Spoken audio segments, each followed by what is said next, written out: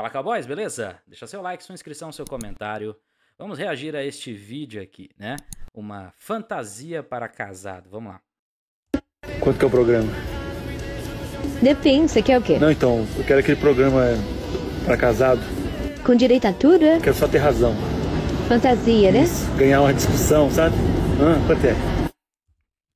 Bom, a, a piada aí, a brincadeira, né, diz respeito justamente à questão, né, de que, em geral, né, dentro de casamentos, tem sido muito comum, né, a questão onde o cara ele busca muito isso, né? Ele busca essa razão, ele quer ter razão nas discussões, porque raramente ele consegue ter, né? Há sempre uma questão onde, até por uma questão da libido também, o homem ele busca muito isso, né? Ele busca o máximo que ele pode de é, tentar resolver as coisas para que tudo volte, né?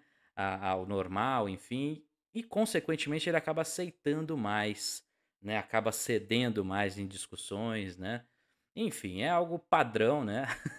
Mas que também o cara, ele né, sempre tem essa vontade, né? É uma fantasia, né? Como foi citado aí na, no vídeo de brincadeirinha aí e tal.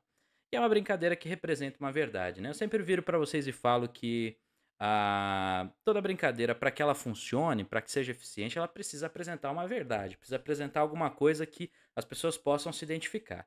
E os casados, principalmente os homens, eles podem se identificar perfeitamente com essa sketch aí, com essa brincadeira, né? a real é que o que não falta são relacionamentos onde tem a patroa, a patroa decide, manda tudo, e é isso, e pronto, acabou. Né? E razão é uma coisa que não faz parte né, é, das suas atribuições. Né? Você tem que. Né, a última palavra é do homem, né? Basicamente, a palavra é sim, senhora, né?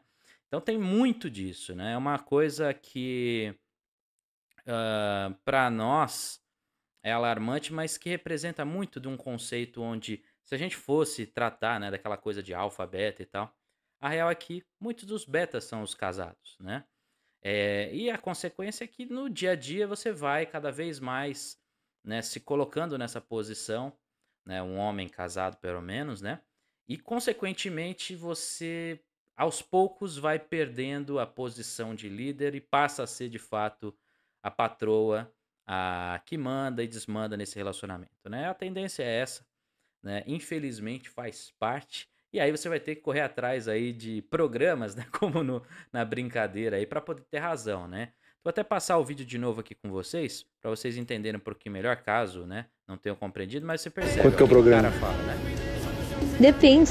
Quanto que é o programa, né? Aí depende. O que, que você, você quer o quê? Não, então, eu quero aquele programa para casado programa para casado, né? Ela com direito a tudo? Não. Aí ele fala, só quero ter razão, né? Com direito a tudo? É? Quero só ter razão.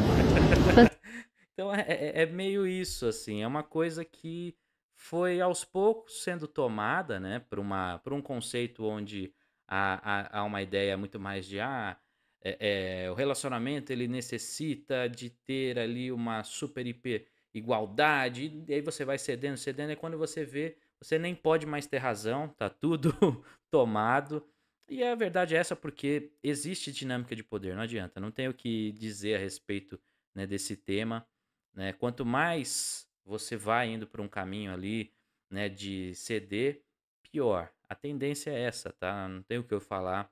Uh, você às vezes até sente um pouco uma necessidade de ceder, até em função de que você vai pensando, poxa, pessoa ela também precisa ali e tal de, é, é, de um apoio, enfim. Mas no, no final das contas, se você começa a ir por esse lado, logo logo você está aí, né? É, perguntando o programa para ter para ter razão, né? É triste, mas é um fato, não tem como negar. A real é essa, mas enfim, se por acaso você está diante de uma situação como essa, se você faz parte de um relacionamento onde você já desistiu, já tá na vibe do deixa pra lá, é, deixa ela ter razão e eu quero ter é paz. Se você tá nessa vibe, saiba que o seu relacionamento provavelmente já se encerrou, já acabou, não tem muito o que fazer. É, sei lá, é, é, é simplesmente você assumir a falha e seguir em frente. Né? Não tem muito uma solução além dessa. Não posso virar para vocês e prometer soluções mágicas porque elas não existem. Né? Se já tá nessa vibe, Então, amigo, saiba que o negócio já desandou, tá bom? Toma cuidado quanto a isso. Tenta evitar essas coisas de você aceitar também demais, porque, como eu disse, às vezes você cede tanto a ponto de que logo, logo não há mais respeito a você. E é isso, no fim, essa dinâmica de poder, por mais que não que é feio de falar, né? Aquela coisa assim, ai não, não é assim, né? É 50-50 e tal. Nunca é. Nunca é. Uh, uh, e não adianta, você pode ser o cara que investe mais no relacionamento, o cara que corre atrás nesse sentido, né? É, no fim, essas coisas que envolvem respeito, que envolvem essas coisas mais sociais, isso aí vai pesar muito. Isso vai acabar sendo um fiel da balança para muitas coisas, tanto na cabeça dela quanto na sua. Né? A diferença é que o homem ele é mais do tipo de é, é, tocar o barco, ah, vamos tentar, vai, segue em frente, seja o que Deus quiser, né? É, e vai indo, vai indo, vai se habituando, vai se acostumando com aquela posição. Né? e aí, no fim, ele acaba virando como o, o, o funcionário da patroa e não adianta. E ele meio que. Ah, os amigos, né, são assim também, né? O, todo mundo beta. ah, então tá, você beta também. e é isso, vai aceitando. É triste, é triste de, de notar, mas essa é a, pelo menos a minha percepção da situação. E se você de repente não quer ser parte disso, então ou evite relacionamentos, ou então, se está em um relacionamento que já está com essa vibe, já começa a repensar aí, de repente, ter um término de relacionamento ou coisa assim, porque eu acho muito raro, são raros as situações em que isso é contornado, tá? Então toma um cuidado aí para não criar uma expectativa que de repente não possa ser concretizada, beleza? Mas então é isso, cowboys. Eu espero que tenham curtido o vídeo de hoje. Se você tem interesse em divulgar seu produto ou serviço, entre em contato. Você pode entrar em contato pelo WhatsApp ou pelo Instagram, arroba Brucio Cavaleiro, manda um direct lá também. Assim como se você tiver interesse em ter aí algum tipo de atendimento, tá?